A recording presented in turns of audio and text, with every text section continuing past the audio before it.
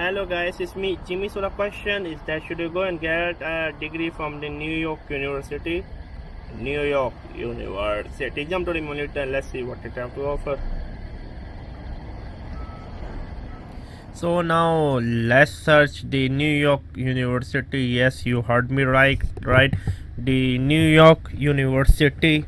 So here we go with the New York University. Let me some open some images okay and then let me open the wiki and then I want to see the tuition also.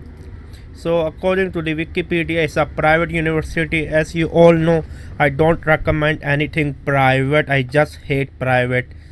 Okay the tuition is super high. Maybe they are the super prestige university I mean, private tuition is high. Maybe they are the super prestige. Yes, I was right. It's a super prestige. Here's one thing: I will never ever go to New York, New York University to learn any kind of skill. I will only go to New York University if I need a good world recognition piece of paper. I hope this help you.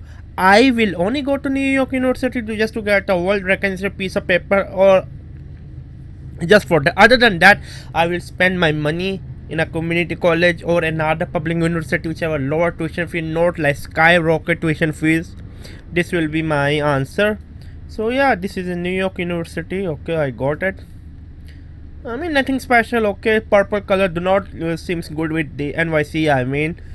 I mean they need to change the color to be university okay they're fine. Nothing special I won't be going into detail. I already give you my honest opinion. I will only go to New York University if I need a piece of paper for learning any kind of skill. If you're going to do a MBA or BBA or computer science, I will try to do from a university which have like a name in quality of education rather than just a prestige university name. It was me, Jimmy. Subscribe and bye.